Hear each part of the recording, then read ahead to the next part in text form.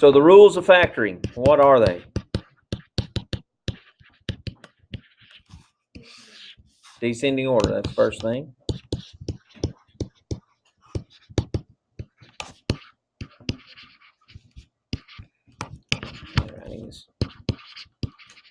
No good today. What's the second thing?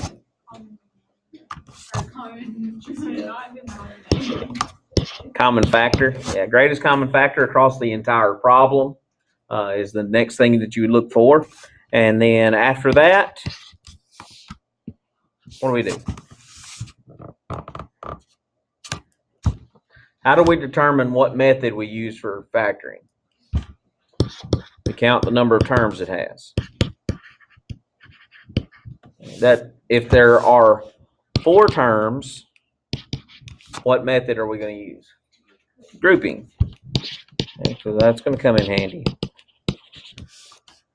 There are three terms, we're going to use X method.